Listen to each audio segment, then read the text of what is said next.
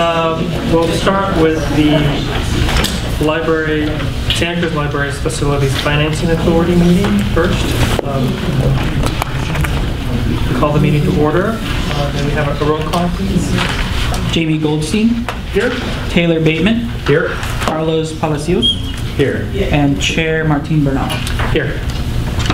Thank you. Um, second item is uh, whether there are any additional materials. I don't believe so, but are there any? I have none at this time. Okay, No additional materials, thank you. Any additions and deletions to the agenda? I have none at this time. Okay. Next on the agenda is oral communication. This is a time for anybody in the public who wishes to speak to the board on items that are not on the agenda but related to uh, financing authority matters. Is there anyone from the public who'd like to speak to the board on oral communications? Okay. Can I point out that there's no water in the building today, and we're very much looking forward to having a new downtown library? We no water.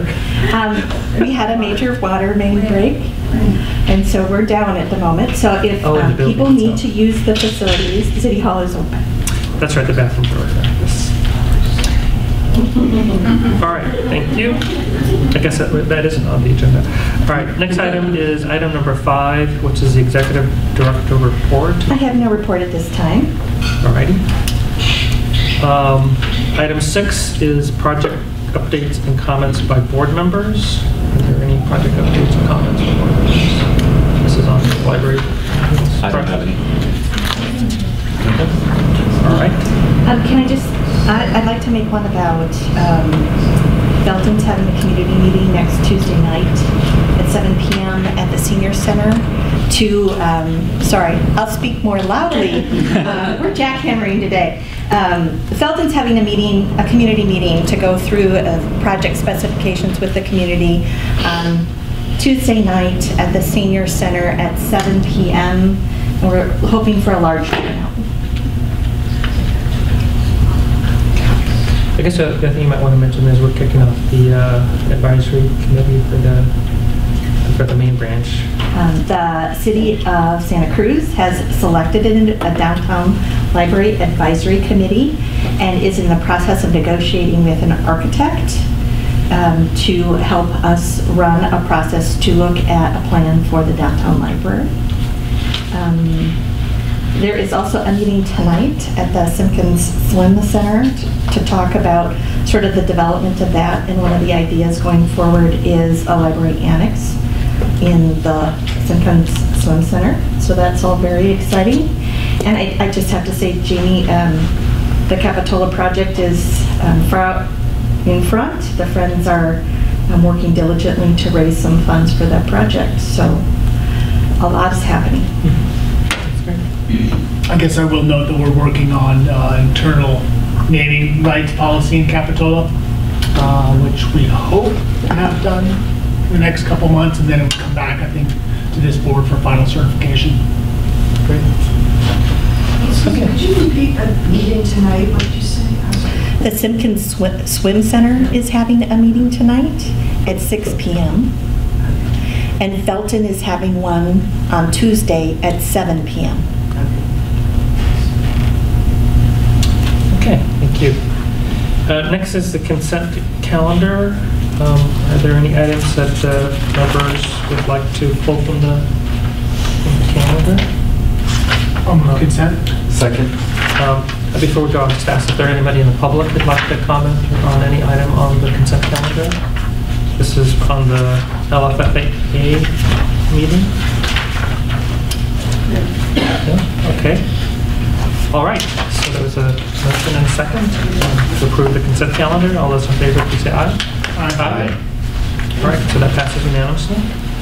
Uh, We'll move on to item eight, under general business, which is the special tax bonds for phase one funding of library facilities. Um, So we're on page 10 of the packet. We have a rather dense packet today. I want to point out that Scott Ferguson from Jones Hall and Suzanne Harrell from our financial advisors are here to help us go through this. Um, In front of you, there are a series of documents that need approval. Um, We have a resolution, a preliminary official statement, the fiscal agent agreement, and the official notice of sale.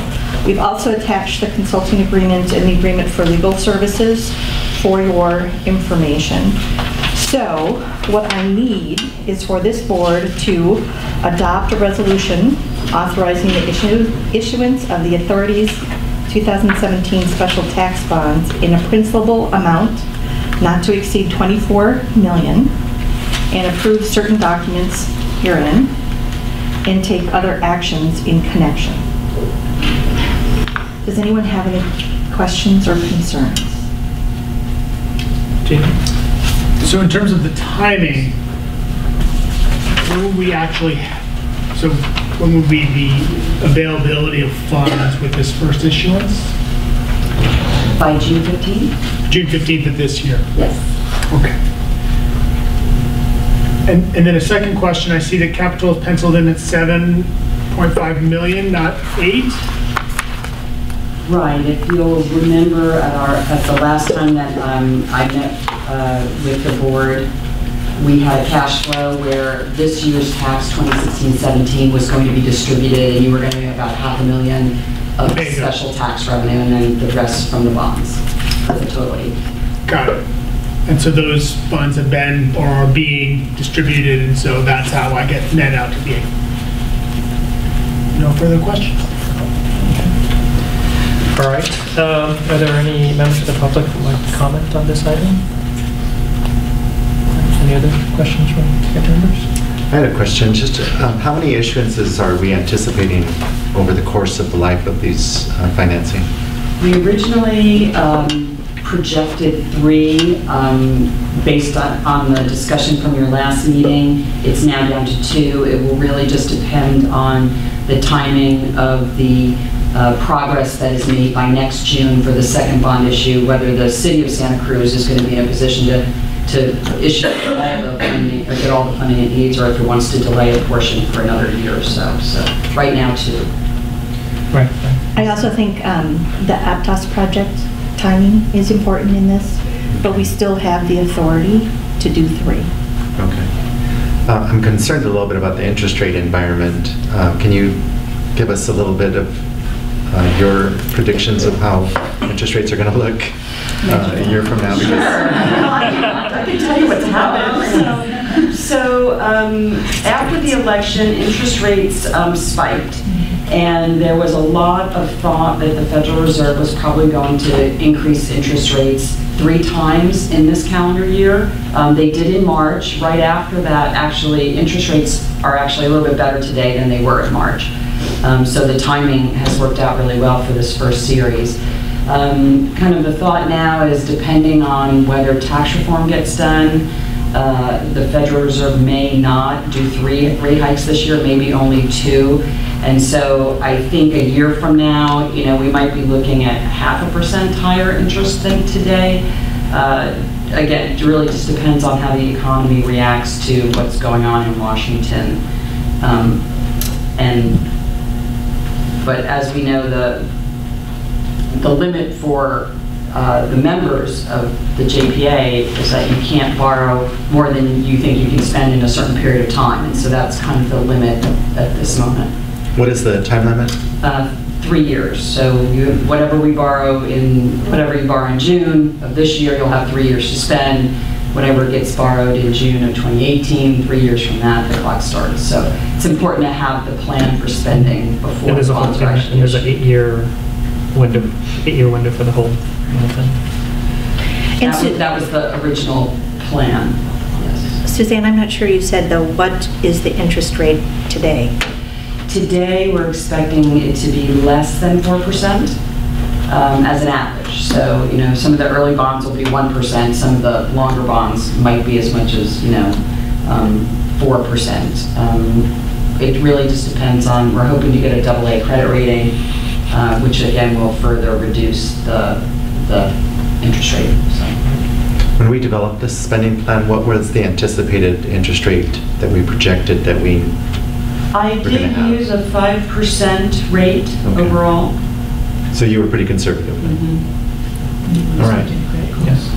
And there are other reasons why I think moving as quickly as possible is, is an advantage besides the interest rates, also I mean, construction costs, uh, uh, as well as just the deter- deterioration of the facilities.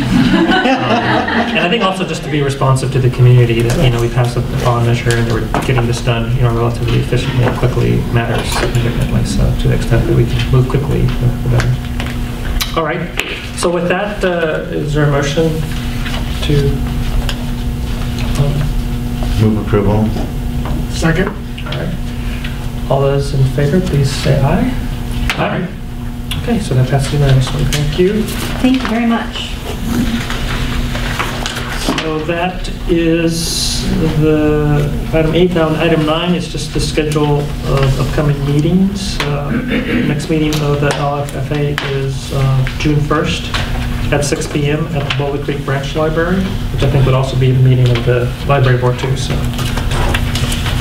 Yes? Just as a matter of question, do, do we have items that are going to be due for us to adopt on June 1st? You might want to do your own closing actions. We probably need to just update the budget Okay, Okay. okay. Because to the extent that we can avoid, I think, sort of the double meeting, it's sort of a little bit cumbersome, I'm sure, to produce the agenda and for the public to participate, it always feels a little bit awkward. But if we do need the meeting, then we should hold it. And we have canceled the July meeting, so. there- for both entities, right? Yes. That's another reason to to spend the money quickly, to stop having. them. Okay. um, Any comments from the public on item nine? Okay, so then we're at adjournment. Thank you. Next, uh, I'd like to call to order the Thank meeting you. of the, thank you. Thank you. Of the Santa Cruz City County Libraries Joint Powers Authority Board. Um, Have a roll call, please. Jamie Goldstein, Here? Taylor Bateman, Here. Carlos Palacios, Here. and Martin Bernal. Here. Thank you. Uh, Next on the agenda is presentations. Do you have- We have no presentations, Okay. but I would be remiss if I did not say, may the 4th be with you. Today is our big Star Wars celebration. Oh, that's right, that's right. It starts at 4 PM. We would love for you to come. If you know any Star Wars fans, we suggest you bring them. We're hoping for water. Darth Vader will be here, Darth Vader will be here. as well as stormtroopers, Mandalorian raiders, and quite possibly Chewbacca. Wow. And what- what time was that? 4 PM. Right, one on four. Yes. All right. It's never boring at the library. So it's uh, here in the It's downtown. downtown? There's a series of places. If we don't have water, it will be across the street under campus. Okay. I'm taking over your courtyard. All right. Great, thank you. Um, uh, additional materials? Oh, I, um, we passed out another schedule of designated positions and their disclosure categories. We missed one, and so we wanted to make sure you had the most accurate and up-to-date version. Okay.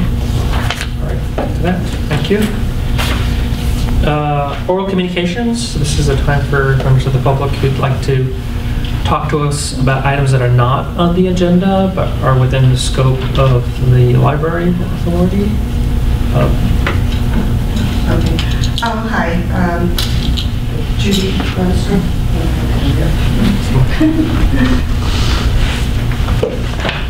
Good morning, everyone.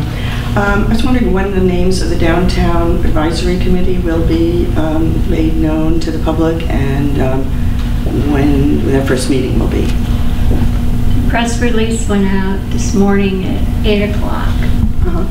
And we are doing a doodle poll actually to figure out the first meeting, so we don't have a date Right, soon. okay, And it will be public, very public. okay, thanks. Okay. Great, anyone else like to? Okay, you? All right, so we'll move on to the next item, which is item six, report by library director. I submitted a report in writing. I have no additional comments.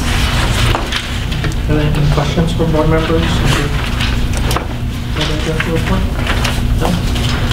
Uh, Yes? No questions. I thought we were somewhere else. He's really excited about Darth Vader still. Yes, Okay. All right, that comes later on the agenda. that's my list. All right, uh, any, any member of the public that would like to comment on item six? Okay, we'll move on, there's no action required on that. Uh, Item seven is a report by Friends of the Santa Cruz Public Libraries.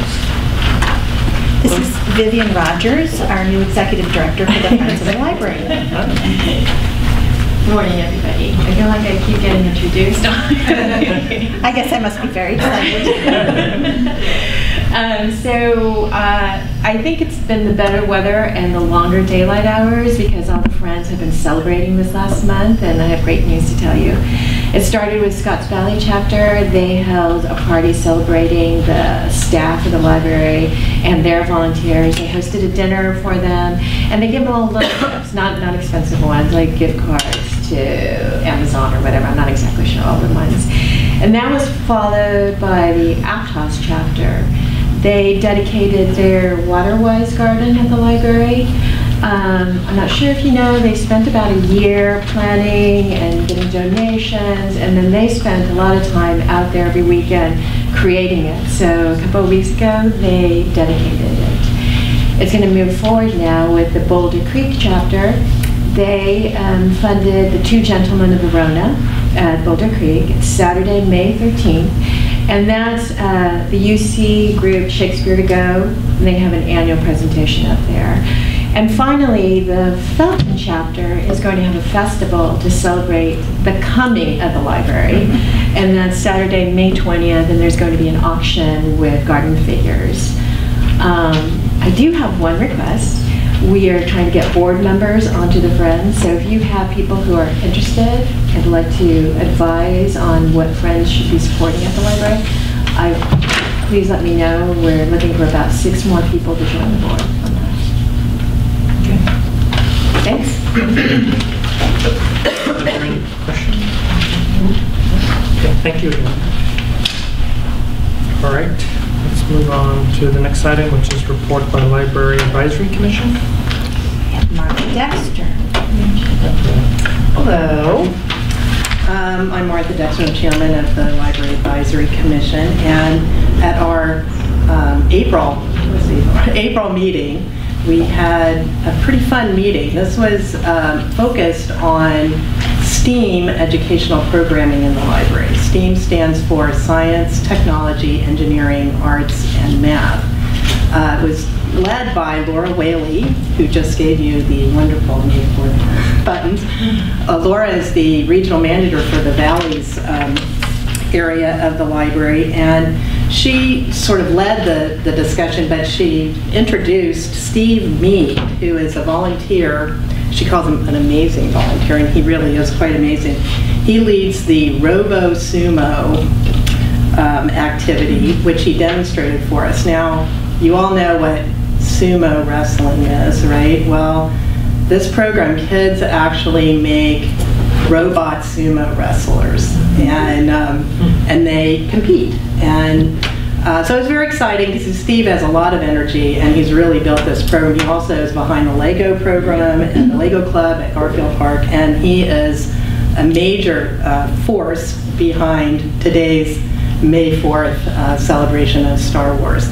Uh, Jen Hooker was also there, librarian at Scotts Valley, to demonstrate the 3D printing activities that they have going on up there.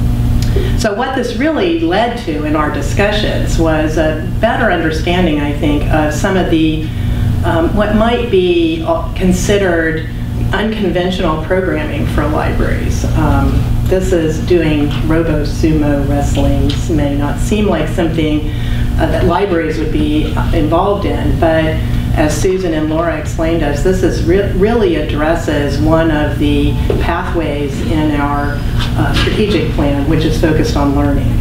And uh, that really is part of science and math and engineering uh, learning activities. But it also led the commission to spend some good brainstorming time about what does this mean for the buildings that we're going to be building and creating in the 10 spaces that we have available here in Santa Cruz County. And how do we accommodate this kind of alternative programming? Um, And another one of the pathways in our strategic plan is transformative spaces. And this really does call us to think seriously about that. And the Library Commission, the citizens that are on that are each one involved in one, uh, one or more of the 10 activities that are going on. So I think it was a productive meeting. Uh, We're looking forward in our May meeting to learning more about the Friends activities and what we might be able to do to work with them. So I think that's pretty much it. Do you have any questions? I'm just really pleased that the advisory commission has sort of taken on the strategic plan.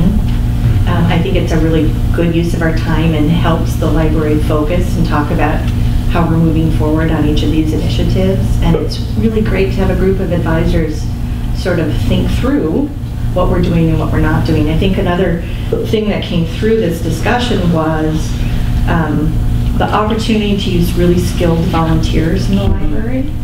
Um, It, it, I mean, we're so lucky to have this gentleman, it'd be great to have 20 of them. Right. Um, And we have a lot of amazing people in our community who could really help us. So there's uh, a lot of exciting things to work on.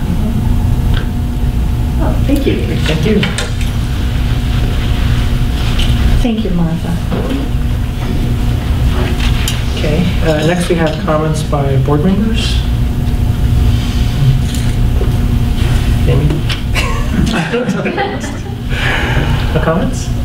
Okay. I, yeah, I, I guess my, my only comment is, um, you know, we're challenging, our budget's challenging in the Capitola Branch Library. Um, You know, I think we're, we're looking at a project that's about 30% more expensive than we were originally anticipating, which means the city is, is, you know, looking heavily to our friends to try to fundraise uh, the funding gap um, or our general fund, and potentially even having to take a general fund obligation on to to do this. And I know that we're first out of the gate, but I think that with construction costs, I suspect that many of my, my peers here around the table will be faced with similar challenges. And so to the extent that we can, within our budget, if we have excess fund balance, you know, look at ways to augment those library budgets, um, you know, on specific things that could benefit all the partners and help, help close funding gaps in the future. Because I know that, you know, like I said, I know we're further ahead, so we have a firmer grasp on how big the problem is, but I suspect that we're not alone. So, Just making that pitch. Okay. I agree, I think we're all gonna have uh, higher. Okay. Thank you, Jamie. Uh, Next is the consent calendar. Um, Are there any items that the board members would like to pull from the consent calendar? We're, we've just moved to quarterly reporting, and I apologize for the length of the consent calendar, but this is the result of quarterly reporting. This month. I have a question. I thought that maybe some of the quarterly reports were gonna pivot down to discussion items. Is- I would pull them then. Okay, I, I, I don't have a specific one. I know we went to this format, we thought, well, look, let's make more of a thing around each one of them, and... um, You're right, we did. Yeah. So I don't, I don't have any specific elements or questions on any of them at this time, but I do think that as practice, at your discretion, I think, bringing them forward and highlighting the contents, because I think it is important to take a moment to, to look at some of this information, because there's a lot of good information here. I will do so. Okay. Um, Is there any member of the public that would like to discuss an item that's on the consent calendar? Oh, yes, you wanted to talk about the work plan, item H, as I recall? I, um, Well, you can sit there, it's okay. Oh, okay. Uh, yeah, I didn't have the document for me, but, um, I'm just, I know libraries have traditionally done outreach, you know, to other populations. Uh, jails is one of the, um, places, but, uh, uh, as far as, you know, it seems like they're devoting quite a lot of hours, um, to the homeless, um, dealing with the homeless, and, um, as a librarian, I don't know um, if librarians are particularly trained to be social workers, and if that's a priority. Any questions about that? Um, okay. So, yeah. Okay. All right, thank you for the comments. Um, all right. Um, I'll move consent. I'll second that. Okay, so motion will second. Uh, all those in favor of approving the consent calendar, please add aye. So that passes unanimously. Thank you. Next, we move to item 11, um, general business. The first item on the general business is the library code of conduct, and the recommended action is to approve the conduct of the code of conduct policy.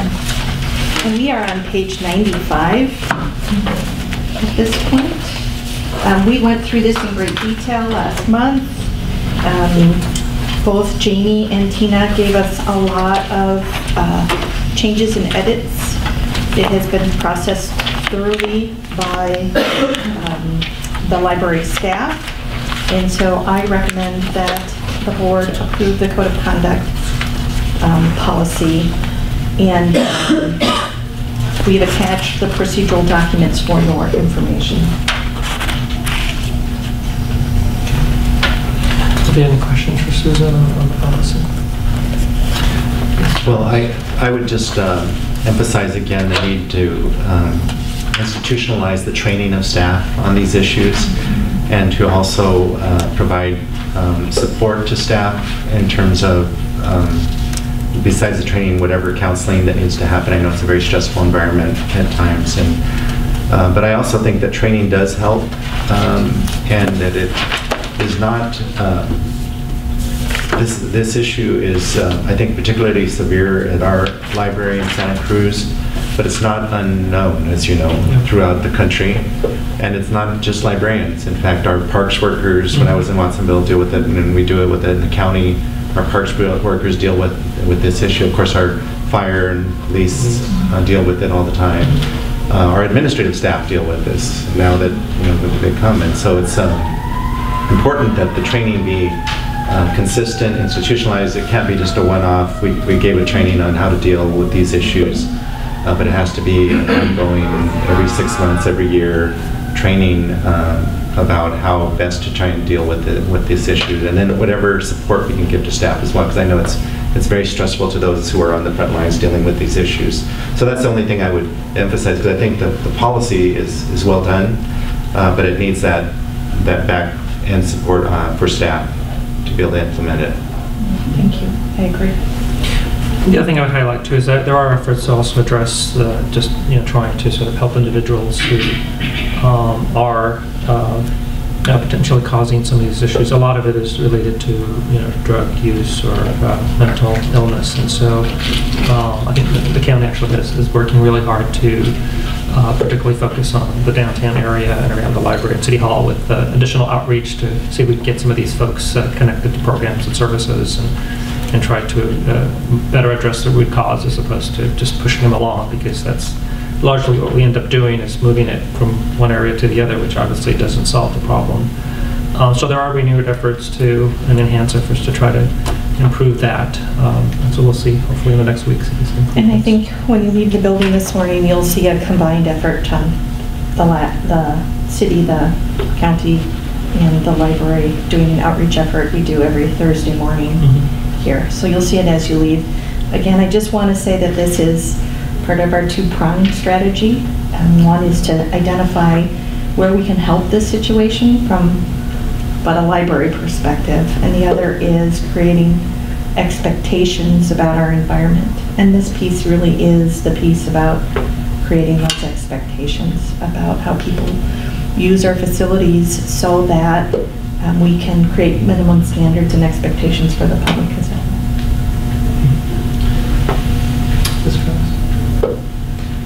Uh, One of the things I would, uh, wanted to comment as well is that uh, the, this issue in general is, is a high priority of uh, both the city council in Santa Cruz um, and the board of supervisors, and there is a homeless coordinator position in the county that was created um, that is trying to uh, lead a coordinated effort to this uh, issue. One of the, I know Jamie was very involved in the development of the All-In Plan, which is the the strategic plan for homelessness. And I know there's a city council uh, committee that's been meeting on these issues that will be reporting uh, back shortly. Uh, And region-wide, there's a number of issues. Um, I know South County um, in Watsonville, there's a working group that's formed on this issue. I know Salinas has um, a major issue going on as well. Uh, One of the priorities that I've noted in the past uh, that we need to focus on beside, there's a, well, there's a myriad of, of issues we need to address, but one of them is uh, reestablishing a day services program. And I know that uh, part of what's happened is the uh, closure of the Homeless Services Center Day Center program. Um, You know, there, where do you put the folks when you push them out? You know, there's nowhere for them to go per se. per se. And when you have a day services program, you have somewhere for them to go, uh, get showers, use bathroom, and then you can have services also located there. I know um, that in Watsonville and South County, they're looking at that issue. I know Salinas is, is also trying to establish a day services center with a year-round shelter. So there are moves, and that- ultimately, that's the, the, the solution. We know that, you know, you can't really solve this issue with your, with your policy. It helps, the training helps, but ultimately, we have to get the root causes, and it, it's a region-wide issue. Uh, We, we deal with the region quite a bit, and if you look at what's going on in Monterey County and Salinas, we're actually ahead of them in many ways, Uh, but they're facing the same, the same issues. Oh, yeah. And very, very, very difficult. So anyway, I want folks to know that we are, we are working on this, and we're hopefully going to be in a position of getting uh, some progress after all of the planning and and talking we've been able to do, uh, some planning to make some uh, inroads, I think, with some exciting new projects that will be coming up in the new year. And I believe in the all-in approach. I um, believe that the library is here to help you succeed. And I'm really excited because I actually feel there's some real momentum going right now. And I think we're going to see some significant changes. I think we're starting to see them already.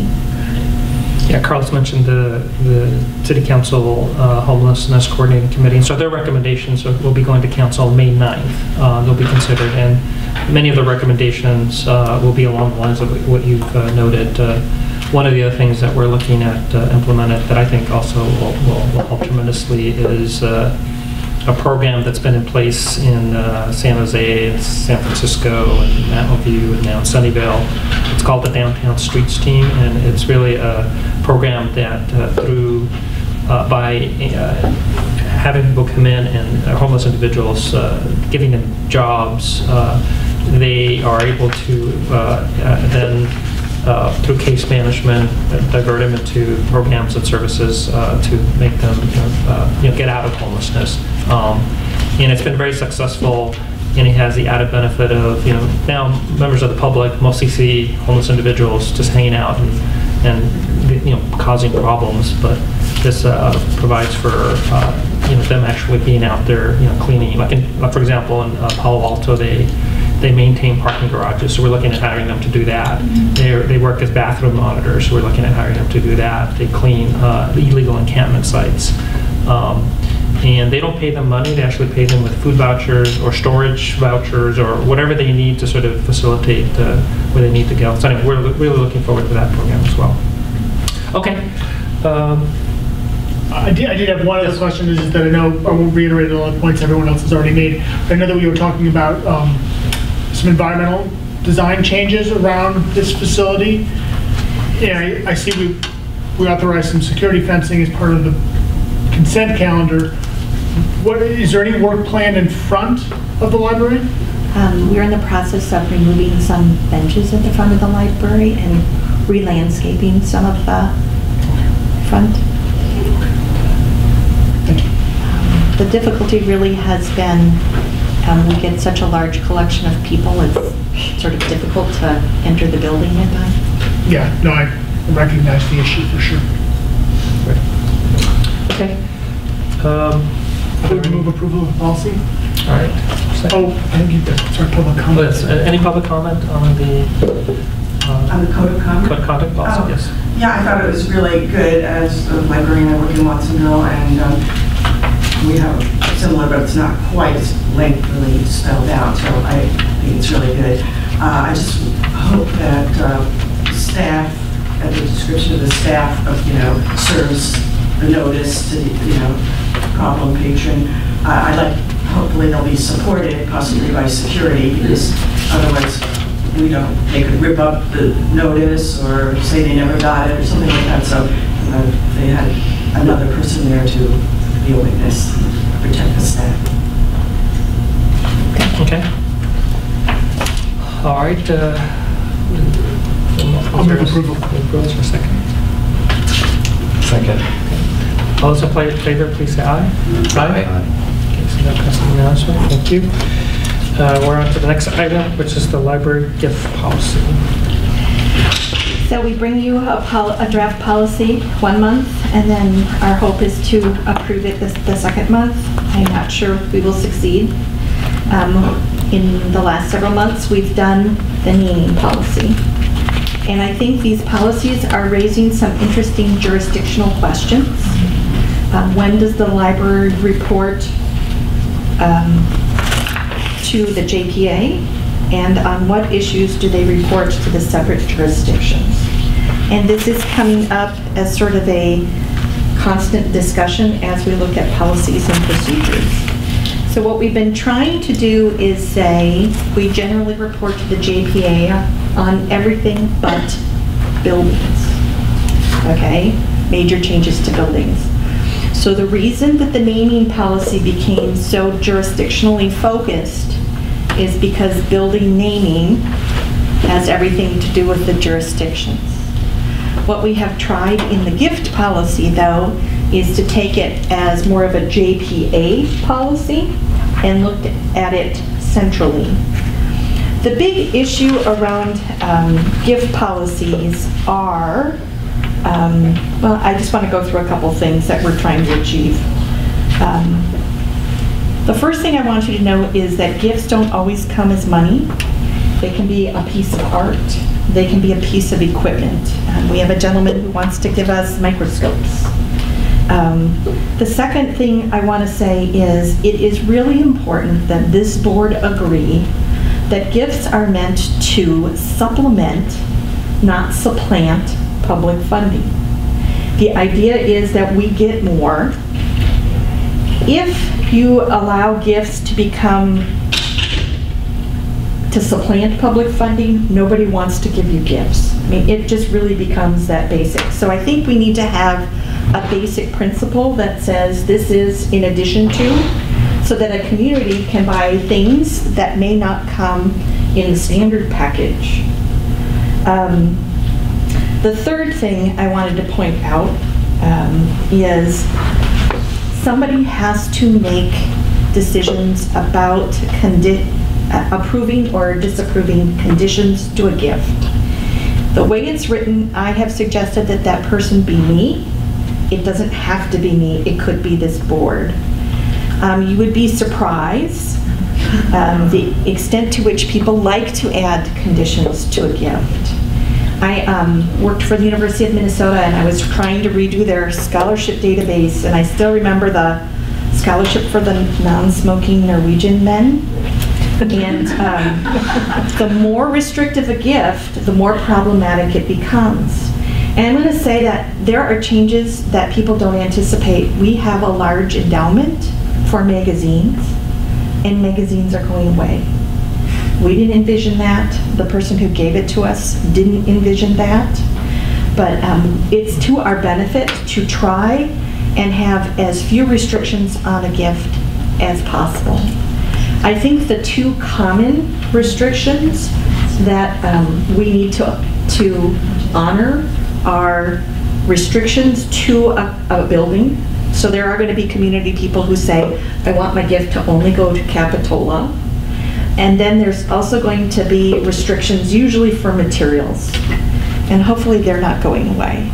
Um, But I think it's in our best interest to try and um, limit the amount of restrictions that people want to give us. I also think there are certain restrictions we cannot do.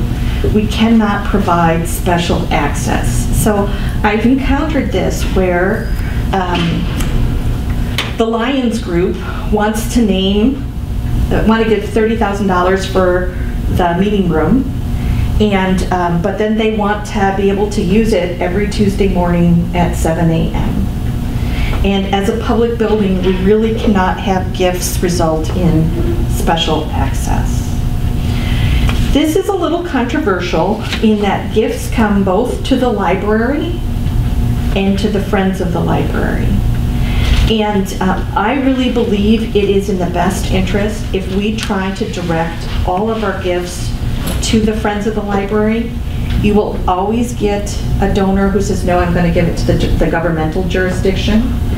But I think we need to try and say, when someone says, here's $100 for Capitola, we need to say, make the check out to the Friends of the Library. The reason being is the Friends have to create an accounting structure, a record-keeping structure, a recognition structure, a legal structure, and a communication structure. The library's not very good at that, and if we can polish this all up, get the Friends working as a smooth machine, um, they should be able to do all of that. They should be able to do it all well, and if we focus all the resources through that um, venue, which is a 501c3, um, I think that the whole gift giving and gift receiving um, will improve. I think the other thing, though, um, people have to realize is sometimes, especially an endowment, um, an endowment has to be tracked into perpetuity. There is record keeping that needs to happen forever so that if the donor's children comes and says, what's going with on with X, you need to be able to look in that file and say, these are the things that have happened and why. Um, what else did I want to say? Um, one of the problems we've had because we haven't done this kind of record keeping is we have a lot of gifts that are things that then become um, difficult to, in the library world, de-accession. Meaning, if someone gives you a quilt for a wall, it's 30 years later, the quilt is, is faded. How do you take that quilt down off the wall? And so part of what we need to do in this process, especially around art, is um, have a, a whole series of policies and procedures that allow us to de-accession. So in addition to the policy, we have also given you um, the beginning of a procedure. What I would like to do is have a written contract um, going to the Friends, signed off by me. So I'm signing, signing saying, yes, we'll take it. The Friends are um, signing and say, yes, it's consistent with what we want. Um, But those contracts then also act as the, um, the written acknowledgement of any requirements of the gift. The easiest gift is money, and honestly, a donor can just send a note saying, here's $50,000 for the collection. We probably won't make them sign a contract. But if someone is giving us um, $50,000 for scientific equipment to support STEAM programming at Scotts Valley, we need to have that in writing so that we know what the expectations of that gift are. Now, I would say in my past, um, we did have a dollar figure where gifts are um, brought to the board, and I have not written that in, but that is something you may want to consider. Gifts of over X. Right now, the naming piece is going to the jurisdictions for their approval because we- we're viewing that as a permanent change to the building. And um, my suggestion, we can talk about this, but um, I'd also be happy for, to have individual conversations with you over the next month. And um, we've brought it to the Friends. Um, There's plenty of controversy in all of this. Um, One of the things we're trying to do with the Friends is understand sort of the legal entity. Um, The Central Friends Group is the 501c3. The branch Friends use their 501c3 number. We're developing an MOU, I'm working with Tony Kandati, about what does it mean to be the Friends in terms of the library. And my hope ultimately is that we create the same kind of MOU between the branch Friends and um, the, the Central Friends as well. But what I'm trying to do is align expectations about who, how, where, when. Jamie, you've actually done a lot of thinking about this. Yeah. Yeah, it's hard. You know, we struggled, I know at the Capitola branch, we struggled with the, um, help me, what was it called? The Friends of the Children of the World sculpture? Is this Oh, ringing a bell? yes. Oh, Oh, yes, yes. Yes. It was a donation. Oh, my goodness, yes. And it was not quite as big as all these tables combined, but close. almost. Almost, and it, it took up, you know, a huge amount of floor space in the Capitola branch, and it became a big thing. Yes. Literally. In many ways. Literally, yes. And, and so, yeah, so, I- so I think, I think it's really key that you're strategic about what you accept and what you don't. Um, The relationship between the friends and the- the branch is important. I'm a little, a little puzzled in the, in the policy, kind of the way there's some policy requirements that seem to point back to the friends, which feels a little funny in our policy. It seems like it's sort of more theirs, but then at the same time, I also understand sort of the relationship between the friends and the library does, is necessarily intertwined, so. um, But I think the key is to be able to say, be able to have a, have a body that can effectively, or an individual that can effectively say no um, when the conditions aren't acceptable, or the piece isn't relevant. So if this is what we need to get us there, I'm all for it. Um, And I would just say, there is a bad guy in this, uh, often around art. And um, this is why I suggested be me, and that if you look procedurally, what I'm trying to do is have a committee, an arts committee that includes both friends and staff, um, so that it's not totally me, but um, I I for sure don't want to get elected officials involved in that, because I think that's really difficult. And the question is, do you want to be involved in those decisions? That was visible in the back of the room. I, I would say one of the things, I guess, depends if we're talking about a certain dollar amount. I mean, and I think that's an important consideration. If it's a million dollar gift, you know, in a, in an object or something, I think there would be a need for some review at this body. but And so what- Something to consider at least. What dollar amount triggers? I don't know. I mean, that's, you know, I mean, that's something for us to consider over the development of this policy, but. Carlos? I have a couple comments. Uh, One, with regard to endowments, um, I would suggest that you talk to the Santa Cruz Community Foundation. And we Yeah. already have. And so that would be a good, a lot of agencies don't, it's so so legally complicated that, you know, to try and have yourself or the friends deal with it is not realistic. But you could do a contract with the community foundation. They do them all the time. They do them for other nonprofits and so forth. And they have uh, the legal and financial counsel to know how to do those things. So that, and you get the money back. They just charge us a fee for administration or whatever. So that's one thing. Uh, The other thing about the uh, decision-making, I, I think these are going to be controversial, and I don't, I've had a lot of experience with this over the years. I remember we had a, um, a gift of uh, a painting uh, regarding the El Salvador Civil War, and there was a uh, American flag and so forth. And so uh, there was a lot of controversy on it, and the library, the person way back, this is going back years, said, no, no, it's too controversial. So even when you don't, then there was a big protest about you rejecting it. Uh-huh. And I don't, I think I'm, um, I'm willing to let you try to do this, but I don't think you will be able to ultimately. It, it bumps up politically. I mean, because Right. ultimately it's a political decision.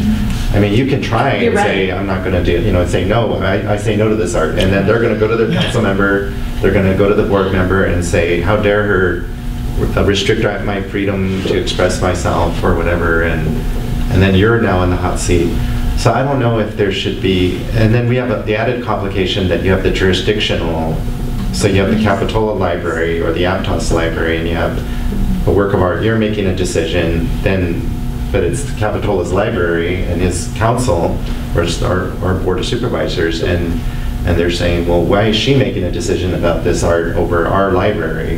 And. And so, Carlos, which raises a really good question for me that I'm struggling with right now. Um, do the jurisdictions own the building, or do the jurisdictions own the objects in the building? And do I make the decisions about the objects in the building? Or does the jurisdiction make the decision about the objects in the building? And again, this is also, I know that when I say, do I make the decision, I'm actually talking about the JPA. I'm not talking about me. But it's, this is one of these pieces where I don't know when I report to the jurisdiction, and I don't know when I report to the JPA. Well, that, that is um, one of the issues we need to work out with regard to good lease agreements between the JPA and the jurisdictions. I think that, that's going to be spelled out. Um, I know that you are having an art committee, uh, or you're having a committee, so I think that, that might be the key, is trying to figure out who's on that committee. That's the way that we ultimately dealt with it. The council got in the middle of this a number of different times on various issues over the years. Um, And ultimately, the way they dealt with it is they formed an art committee that they kind of made the decision. And then they just said, where the, let the chips fall where they may. And it had uh, representatives from the art community and, and it had some, you know, that it was appointed by the elected officials so that they, you got separation. Because then if you're appointing, you know, or we're appointing, then they're saying, well, why didn't you appoint that person? So the way that we did is the council, it was a art committee that the council actually appointed. And then they let the decision be what, what they made, because there's, there, we had a controversy over um, the uh, Agricultural History Museum, where there was a big donation to the Watsonville Library to establish this Agricultural History Museum, and, and there, and there was um, a big controversy between the growers and the farm worker advocates, the UFW, what's going to be presented in this, and who's giving it, and, and so forth. And again, ultimately, you know, administrators can try and weigh in on this stuff, but ultimately it bu- bumps up politically. You're right. You know, so right. I don't know if you want to, we should think of how to have some kind of appeal process, because I think on 90% of the stuff, you will be able to make the decision, and it'll be fine. But there's 10% that if we don't build in a- an escape valve, uh, I have to have something. you have to have something of, uh, I don't know if there's an appeal process, or, we need to think about that piece, I think. That's the only part I'm unsure of, because I think, I like the fact that you're willing to make these decisions, but I don't think that's realistic in the end, because whoever doesn't win in- at that point is just going to go straight to the Capitol. If it's in the Capitola Library, they will go to the, they'll go to Jamie, they'll go to his council, his council will agendize it, and then it's going to be there. And then now, now we're in an ad hoc situation where we're trying to make it up as we go along. So that's, I would just think about that one piece a little bit more, about how do we have an escape valve when it does become, because these things, as you know, you've dealt with it, and, and Jamie just mentioned one, become incredibly um, political. And it only happens once every 10 years or something, but, but when it does, it's uh, pretty ugly and it gets everybody stirred up. And so I, it would, if we could think of some way to have an appeal process or some escape valve for you and for the library, because it's going to happen anyway, uh, that would be good. And my gut is to make that escape valve this, this body, not the individual jurisdiction. But that it has a policy implication. Yeah. So, so, Um, what- what- so, so I, I echo all the sentiments. I have, I've only had this happen to me once where we've had this sort of controversial weird art thing and it was, it, it was bizarre and it was very difficult to handle and I clearly was, didn't feel like I was, you know, the person who was best equipped to, to make a final resolution of it. I, I, I do, I differ a little bit though, I think with Carlos in that the relationship between the JPA and the jurisdictions is a little different than it was in Watsonville. In Watsonville, it was your librarian, it was very clearly your library, and so obviously the ultimate decision maker on what was going to go on in the premise was the city council. You know, we each have leases back to the JPA, which pretty clearly say that it's your building, unless I'm mistaken. I mean, I, I, I don't, I'm So I have this um, next on the agenda. okay, Um, right. Well, I think there's also a difference between the building itself and then what, like you, like you, as you differentiated the, the stuff that's in it. uh, You know, and, and the- even there, I mean, I think even with normal leases, obviously, you know, leases tend to sort of deal with the. I have two leases and two not leases.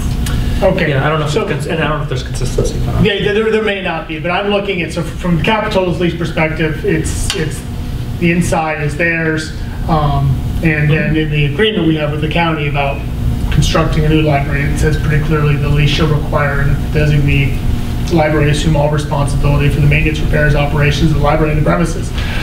So in some senses, I get it. I hate to see it sort of bumped here. In some ways, if it got bumped here, what would end up happening, I think, is, is if we had a controversy in Capitola, I would take it to my council for advice about how I would vote, but then I would be subject to you guys potentially overruling me, so it, it, it- Well, Wait, I- maybe- I don't know that I have the right answer. Well, I, I- if it came, if it did come to us, I wouldn't vote on that. I would, I would form a You defer- committee. Or defer to. I'd form, I'd form either the advisory, maybe that's the right place, the advisory commission, because, or, or an art committee.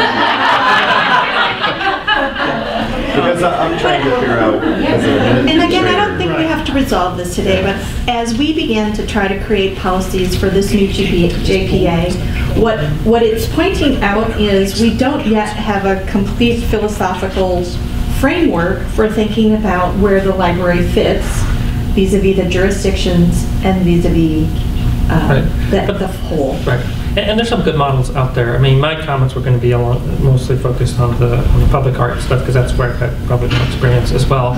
Um, Sounds like suggest- everyone's had this. I was going to suggest if, maybe if you wear the Darth Vader uh, outfit. But, but, you know, uh, we have, the city, we have, uh, and the other item that's actually been really controversial is de- the deaccession and how that happens, because there's actually federal laws that relate to that, so you have to be really, really careful. You can get in a lot of trouble, and we've had experiences with that, where then you're- you've you've got liability to the artist, depending on what you do, you got to notice, if you got to take it down, it's a whole process for that.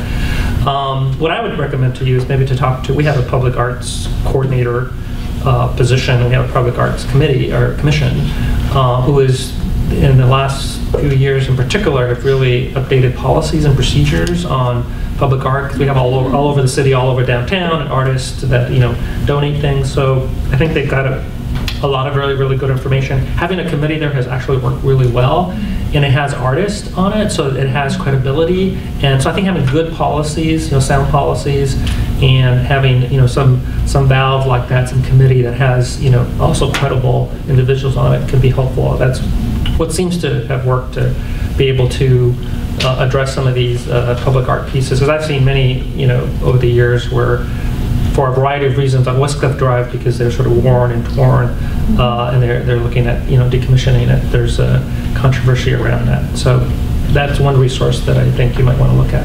And Amy Sherman's doing the legwork on this. Oh, there you go. Um, Yeah, so Beth Toby over in, Beth Toby? yeah, she's in Okay. Economic Development Department. Thank you, She- Martine. She's the public art coordinator. I may not get this one back next month if I feel like we have more like work to do, but I, again, I think this is raising really interesting questions for the board. Well, it'd also be interesting to hear from the friends too, in terms of how they feel about the, the issues and get your input on it too. And I think they're working on it. Yeah, we- we talked a little bit about it, and now as I'm thinking about it, it would be great, because we have such respected art groups in town, to have them mm-hmm. more involved in that, mm-hmm. as we as experts, versus get as a small. Yeah, and Beth is really connected to all of the different artists and groups, so there's some good resources in, in, in, in all over the county, quite frankly. Did you have a comment? Yeah, I was just going to say too, I mean, I think these once-in-a-decade events are important to think about too, but also just the kind of the daily stuff. You know, if there's a gift that is, has a reoccurring expense, I don't know, if microscopes, if they need to be maintained, you know, you need to kind of maybe make sure our policy looks at those kind of expenses that you might be taking on. Or a So piece you're of art. saying articulate uh, sort of a criteria Yes. of What you how we evaluate a gift? Are there ongoing expenses? Does it need to be insured? We need Right. durable things in Right. the Yeah, library. right. Is it durable enough? Right, right. Um, Yeah. Thank you, I think that's Yeah, good. and those policies exist, you- yeah. You don't have to start from scratch. And then whatever it is ultimately set up, make sure you are sensitive to the local jurisdiction's unique needs. I think, you know, from each jurisdiction, will have different kind of And focuses there do have to on say what's important and what's not, so. So many of the votes here are- require unanimity. Uh, You know, I- we will be very, But not on that one, I don't think. Well, if you set it up, if if the friends are going to be in charge of it, maybe, you know, weighting it towards the local jurisdiction, however you structure it, I don't know, but it's something just to keep in mind. And you brought it up already, I think you're very aware of that. it's a good idea though, weighting um, the membership towards the if it's once in a decade, we won't remember the waiting when it comes up. Right, right. But maybe Or you even give- just the non-controversial Maybe you decisions. give seats to people from that community where the art is supposed to go. One, one point I wanted to touch on that you asked the question about sort of a threshold for does a gift ever bump up to the board level here for approval? And when we adopted the gift naming, po- or gift, gifting policy in Capitola, the way we, um, it was several years ago, but my memory was that we said if it's for an ongoing program, you know, a city program, it's like, it didn't matter how much it was. Like, if somebody wanted to come in and say, write us a check for $100,000 for junior guards, like, great, we would announce it at a council meeting. Someone wanted to give us $100,000 to establish a new program for, you know, water safety or something, or, you know, forestry that we, we didn't do, then that was kind of the trigger to bring it before the board. So maybe that's, I'm not, in some way to think about it, you're talking about that kind of threshold is what would be a staff level acceptance of a gift, and is there a, is there another trigger for when it comes to the board? And maybe it's if, it- look, if it's just money for books, you know, effectively, your, your acceptance ability is unlimited. If it's money It's for. those conditions that, that's the hard part is the conditions aren't always straight financial. So for example, if someone gives me a painting that ha- is worth a million dollars and I accept it, the truth of the matter is there's an obligation potentially to keep it safe, which has a cost to it, to, you know, insurance and security. So the hard part for me is often those conditions aren't a straight financial, it's a, It's a new program. And I think that that, that, that does trigger, under, under our model, that would be kind of the trigger for mm-hmm. the, program conditions. you know, yeah, I mean, if you already have a program to display pieces of art and you have five Right. pieces of really valuable art and someone comes along and gives it a sixth, it's like, hey, it fits in the program, we already have a program to accept and deal with art like this, but if it's like new, different, And you have language around that? I'm speaking so confidently. I mean, this was something I think I did uh, three or four years ago, and I I think I might. Amy, That was very Will you look at that, for that too? I, I agree, because I think it's a more subtle distinction than fifty thousand dollars. Yeah. Yeah, I think having thresholds of some sort, you know, makes sense uh, in terms of monetary as well as, again, whether it's ongoing or one-time kind of requirements. And you, Yeah. and you should have your discretion too, I mean, because we can't build in every possibility. Right. Right. But if she knows that. you If I have concerns doesn't- about it. Yeah, you have concerns. Right, and the Library Advisory Commission might have a role too. I mean, the other, the other place that I would look to, the Parks Department has a gift policy as well, because they receive a lot of gifts, you know, to the community center, the civic auditorium, just a whole variety of cultural facilities around the city, and they take things to the Parks Commission depending on criteria, so that would be another policy to look at. So there's some around, at least the city, that you can look at as a model. All right. Are there any uh, comments from the members of the public on this? Yes? I, I do that for the Friends, I have a couple that I brought up earlier. So what I'm, I really, as a friend talking to donors, I definitely need the a streamlined hierarchy. Because if, especially for naming, there's a possibility that we would dename a building for whatever reason. And so they originally see that they're dealing with this contract with Susan and Friends. But then they hear there's another organization that could take their name off. So they, just having a hierarchy or some sort of pathway. And then in terms of uh, Jamie's comment, if someone gave us $100,000 immediately for a new program, I would say, yeah, let's have the library do it if possible. If it's cash up front and it's just one or two years. It becomes a problem when it becomes a permanent restricted gift and we're just doing the interest. And that's when the conditions come out. So even if someone said, I gave you a million for books forever, that may be scary because like magazines, we don't know if books are going to be around in 100 years. Okay, um, we have no decision to make on this, it really was for discussion. Okay. All right, uh, just want to make sure, no other public comments? Okay, so we can move on to the next item then. Um, The old JPA and most library boards across the country endorse basic ALA guiding statements. Um, My suggestion is that we not modify it Um, If you look at the freedom to read statement, while incredibly compelling right now, was actually primarily created in 1953. If you look at the freedom to view, that goes back to 79 with modifications. And it really just sets the principles by which, the philosophical principles by which a library operates.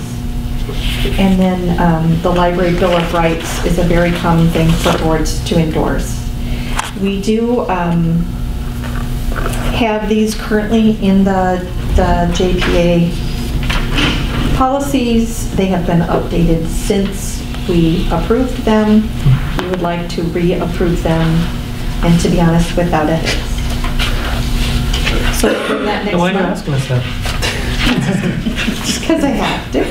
Um, We'll bring them next month, though, so you have the opportunity to contemplate them. Is there a legal requirement to have these, or is No. this just a, okay?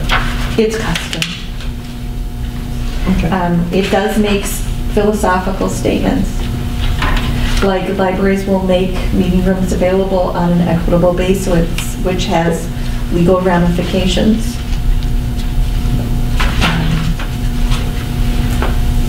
But it's sort of foundational for us to do so. Um, And then the last thing, from a policy perspective, was the library capital expenditure discussion, which we had last month, and many of you were not here. Wait, wait, you're moving on to the next I am, item? I'm sorry, I'm not allowed. I have to have, no, and also we have to have public comment on that. Does anybody want to comment on the, this item, which is the AL, American Library Association guiding statements? No? Okay, and there's no action, it's just report out. We'll approve next month. Okay. Thank you. Okay, we can move on to the next item then. So we talked about the library capital expenditures, um, and this is where I'm getting to the lease. I actually have two leases, one of which um, has expired, so I only have one lease. Um, And they are remarkably different. And um, I believe that we are not treating all four strict- four jurisdictions the same in terms of who's paying for what, and we need to get there. So basically, leases now? With, that's correct, we just have Capitola, right? Because Scotts Valley expired. Scotts Valley expired. Um, But Scotts Valley has a lot of things in it that make me really uncomfortable, I'll be honest, and I can show you all of that if you'd like. Um, I'm happy that it expired. Um, I think, though, one of the first things we need to do is um, create a lease between the library JPA and the jurisdiction that defines that relationship. Um, And I think this is a fundamental issue for how the library operates. I don't think this will necessarily be an easy thing to do. But um, Martine, when I heard their releases, there is a La Selva Beach lease, I need to say, Mhm. between the county and La Selva Beach, yeah, which is sort of a separate. right. And there might be um, issues issue. between the building, when it's a rented building and Correct. But I think um, in order to treat you all fairly, we need to create a a single lease that we sign with all four jurisdictions, that all four jurisdictions are comfortable with. And then we decide the level of operating funds we need to have in the operating budget. And we need to consistently apply that across all four facilities. And then we need to discuss how we do capital improvements when we get beyond Measure S. Um, And we are doing this pretty inconsistently across the board. Yeah, I would reiterate this. I do, you know, I've looked into this a little bit and it's not consistent. I don't think it's equitable across the board. And I think that that's probably goal number one, is just coming up with a standard set of, you know, it's the, you know, the library takes care of the site, or the city takes care of the site, the library takes care of the interior. Just what those standards are, who pays the bills? I don't think even who pays the bills is consistent. No. Um, and we're all equal members at the table, and so I think that that's kind of some basic stuff that we should, we should work through. I know that at the last meeting, my public works director was here, and I think he worked on a subcommittee to try to, but is it, is this table the output? Um, Oh, no, this, this Oh. was the input, but I felt Okay. uncomfortable after the last month to not have this conversation with, The full board? with the full board. Okay. Yeah, well, I think it's really important. I mean, I, you know, I, I, in terms of clarifying roles and responsibilities, in terms of equity among partners, terms of the investment we're all making, it's really time to do this. Um, I know that in Scotts Valley's case and in Capitola's case, there's some nuance in that we have, at least in Capitola's case, we have an as yet unexecuted agreement to build a library. And that agreement has in place in it some sort of terms that say these shall be adhered to. Now, presumably, if the county and the city both agree that we will adopt at least slightly different, there's a real problem with that. But that, that, that should be part of the discussion, is understanding kind of the framework for what is set in place and then what is reasonable. Um, So I'm glad you're addressing this, because this has been a bugaboo of ours for a while. And I also um, really need to understand the extent to which the library is a tenant or operationally responsible to the jurisdiction. And again, I, I'm not trying to say that I won't be sensitive to the jurisdiction, no matter what. I have every sensitive, uh, every incentive in the world to do so, but I think we need to have a consistent expectation about the role of the jurisdictions in the operations of the library. Yeah, yeah, I I agree. that we- It'd be good to to clarify that, have consistent standards and address the various issues. So- even the building uses vary, so. Steve and Tina had potentially um, been interested in doing this. Carlos, I mean, and I don't know if we can do a subcommittee if we have three. You see what I'm saying? But, well, if they're not us, Oh, not us? if it's Steve and Tina and Or you Yeah. could also, Nicole tends to be really good at this stuff. You're not supposed to say it till she leaves the room. The problem is Nicole's good at everything. I know. But um, I need help to even put it on paper. I think a subcommittee is a good idea, because I think you're gonna have a hard time getting us to focus on this, at least me. Yeah, no, I, I think Steve would be great from Capitola. He's well versed in our, in our lease and understands how at least it works in Capitola, and so that provides that context and We can provide somebody, I don't know who yet. but- Yeah, I don't know who yet either, so. Will you work on that? I think that's a great idea. Yeah, We Yeah. we might as well have all four, and then I can bring the original leases as a starting. Yeah, Sounds great. Okay. Okay, great. All right, are there any uh, other comments or uh, comments from the members of the public on this item? All right, I think we'll move on, there's no action on this item. All right, moving on to the next item, which is the budget. It's the preliminary budget? Right, public hearing on the proposed fiscal year 17-18 budget for the Santa Cruz Public Libraries. Susan? Um, We're trying to do a status quo budget because we made such significant changes to the budget months ago. Um, Overall, our um, change to the budget is 5.27%. Um, A big chunk of that is the new staff, the point, or the 4.625 FTE that we have added to add hours. Um, The hours are going to be celebrated on June 3rd. Second. Second? Oh, you're right, I forgot. Um, June 2nd. Um, We are almost at full capacity in terms of staffing, which will be a first in a long time. Our sales tax revenue is projected to go up. Thank you, Marcus. We are expecting a $70,000 increase from the city of Santa Cruz as prescribed in uh, the Second Amendment to the LFA agreement. Um, We have a reduction in professional services as a result of um, some of the Measure S items being paid. Um, We went and did a detailed analysis of our technology shop. Um, We've dropped some of our maintenance on um, hardware, and that's saving us a lot of money. I'm trying to, though, increase our professional development budget uh, by $20,000 because we have a lot of tech training we need to do with staff in the next year.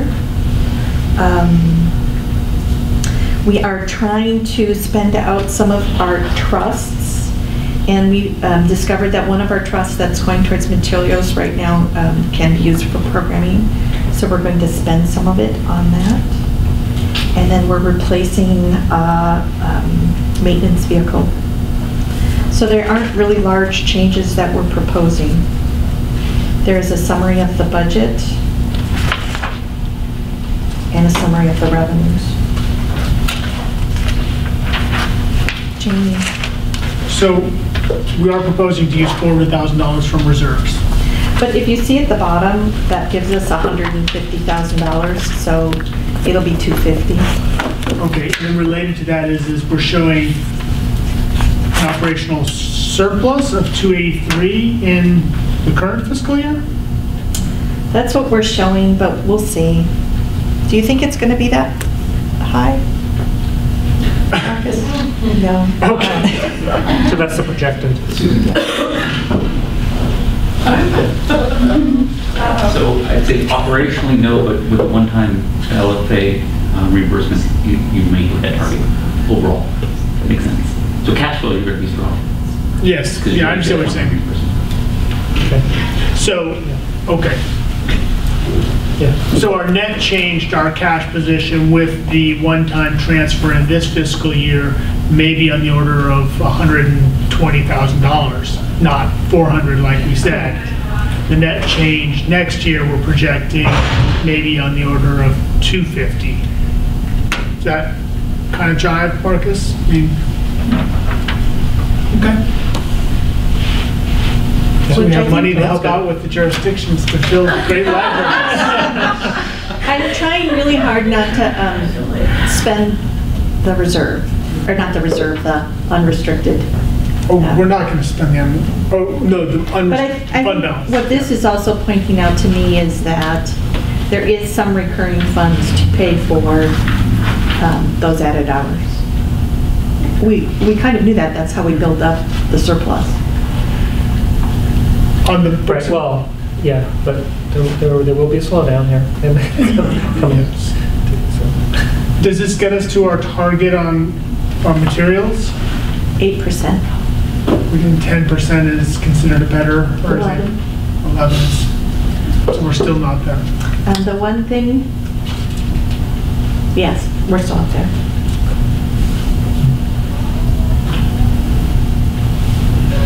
So I had, I had some questions. I, um, first of all, the, on the um, spreadsheet, the 2016-17, um, that's an estimated actual, or that's the adopted budget?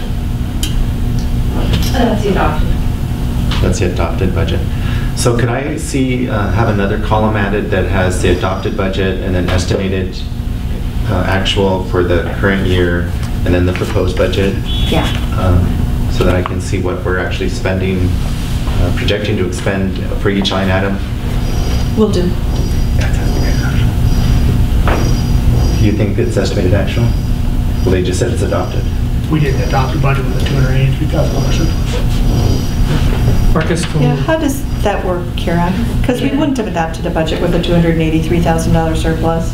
Um, let me go back into my records. Okay, well, if we could have both, just Yeah. adopted, estimated actual, and then proposed, um, that would be helpful. And then I um, would also like, um, if you, for the line items that have um, the more significant changes, most I'm con- interested in dollar amount changes, could we just have um, notes to this, or I, what I have our staff done is a change chart, where we actually have the adopted budget, the proposed budget, and when there's a significant change, we explain it. Just, because there's some items that I just, that are, there's significant changes somewhat in terms of dollars, and I just don't, I don't know what they are, and so just a short explanation of why it's going up $10,000 in this line item, or why it's going up, or down 20. For example, training conference is going up $20,000, and, um, And so I have, travel's going down 5,000, that kind of, you know. I have um, some of it, but would you like it on the chart itself? Um, For me, it would be helpful on the chart, but as long, Well, because then I can just look across and, you know, you just have a little text box and I can just look across and see the change. That, would- for me, that would be helpful. And then the other question I had is in terms of the, um, the positions, do, is this agency exercise position control? In other words, do we adopt positions and, you know, some jurisdictions don't, you know, they just give adopt appropriations and positions are, you know, are not adopted, the control seat is not adopted. Or have we been in the practice of adopting a position control Yes. sheet? And I can give you that sheet. So then I'd like to see that too, just so I know what we're adopting in terms of positions and, and again, changes that are happening so that we can, so I can um, And um, track that. Last year versus this year is a little difficult in that we had so many um, changes to the organizational structure. So um, I can show you last year and I can show you this year, but it's hard to. And then if I could also see a uh, fund balance um, analysis. And the most recent one I have is included in the, um, the, um,